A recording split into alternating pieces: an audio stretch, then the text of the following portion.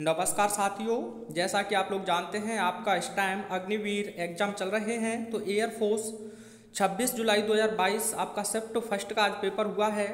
तो कुछ स्टूडेंट्स ने मेरे पास उन क्वेश्चंस को पूछा है, जो आपके एयरफोर्स में पूछे गए थे।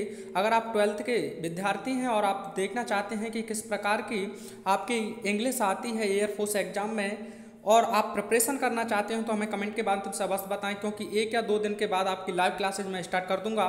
तो आपका पहला क्वेश्चन क्या पूछा गया है, देखिए। A person of long experience usually in same occupation scale यानी कि एक ऐसा व्यक्ति जिसे लंबा अनुभव हो, एक समान ही ओकोपेशन स्किल्स में। तो उसे आप कहते हैं वेटरनन यानी कि अनुभवी। वेटरनन यानी कि अनुभवी। यानी कि जहाँ जो वेटर बेटर जो होगा, वह कैसा होना चाहिए? अनुभवी, इस ट्रिक से आप इसे याद कर सकते हैं। क्वेश्चन टैग बिल्कुल लल्लन टॉप पूछा था। इट विल रैन उसके बाद आप जानते हैं विल का जब आप कॉन्ट्रैक्टेड फॉर्म लिखते हैं तो इसका वॉन्ट होता है, जैसे सेल का सांट होता है एम का आरंट होता है तो इस चीज़ से आपका यह क्वेश्चन टैग बन जाएगा। अगला क्वेश्चन था आपका मैनी अ मैन तो फ्रेंड्स इसमें आपको इम्प्रूवमेंट करना था।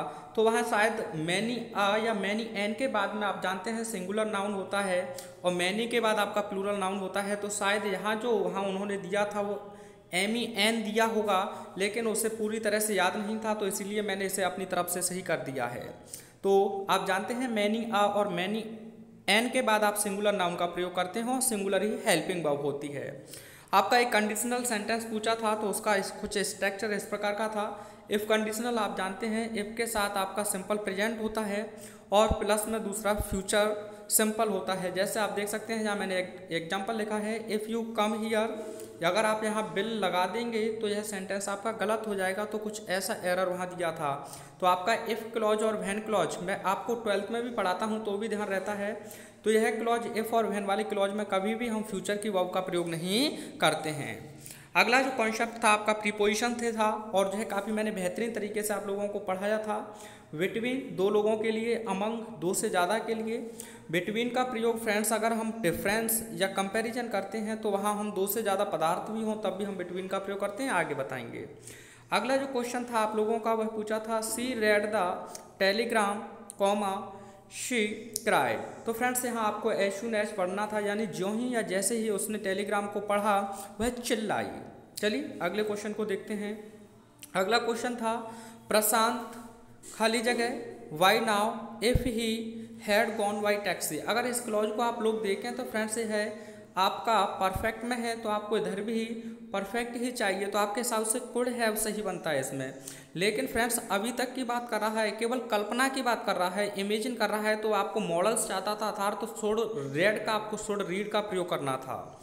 चलिए, अगले क्वेश्चन को देखते हैं। आप देख सकते हैं आपका एक मीनिंग था, जो आपको कंप्लीट करना था तो मीनिंग आपका एम ए एन ओ ई और फ्रेंड्स यहाँ यू है यू वी आर ई इसका मतलब होता है स्केल यानी कि कौशल, यह भी आपका पूछा गया था।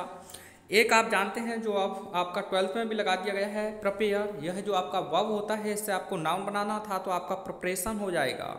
चलिए इसमें आपने क्या किया? सफिक्स आई यू एन कर दिया यानी कि यहाँ इनफिक्स हो गई आपकी ई ठीक है फ्रेंड्स अगला देखिए।